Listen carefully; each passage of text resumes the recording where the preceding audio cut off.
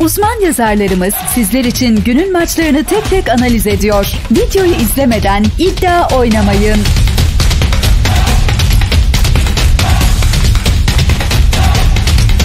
ve Avrupa Kupası yarı final eşleşmelerinde İtalya ekibi Varese ile temsilcimiz Bahçeşehir karşı karşıya geliyor.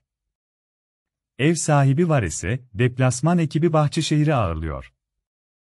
Ev sahibi Varese bu eşleşmede saha avantajına sahip ve ilk maçtan kazanmak istiyor. Deplasman ekibi Bahçeşehir ise bu maçta bir sürpriz yapıp saha avantajını eline almak istiyor ki ekibinde tempolu mücadelelerinden vazgeçeceğini düşünmüyorum. En az 168 sayı görürüz, tahmin 167.500 oran 1.52. Maçla ilgili senin de yorumun varsa yorumlarda sen de paylaş. Videomuzu beğenip kanalımıza abone olmayı unutmayınız.